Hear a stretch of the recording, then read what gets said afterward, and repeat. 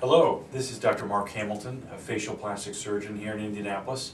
And today we're answering a question that I get very often is how do I minimize or prevent bruising when I have injectable fillers? And there's several things you can do. The first is to be careful and stop anything that thins your blood a week before your injection treatment.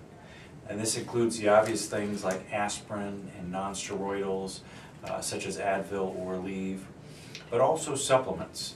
Uh, so many of the supplements we found out over time cause thinning of the blood, and so I tell patients uh, to just stop all of those the week before. Another thing that many patients will do is uh, arnica uh, oral tablets before and after an injection, um, and I think those sometimes can help. I think something even more helpful that we're doing now is uh, high-dose arnica topical pads. Um, these are 50 times the dose you can get uh, with what you take orally, placed right over the areas of the injections, and so that can be a nice way to, to minimize bruising afterwards.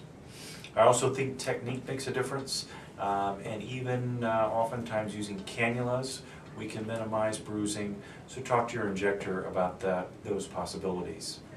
Lastly, if you do get bruising, there are ways to try and minimize the time for that, including topical arnica gels, and then we even can do uh, intense pulse light treatments here in the office to break up the bruising. So I hope that helps with your next injection treatment. This has been Dr. Mark Hamilton, a facial plastic surgeon in Indianapolis.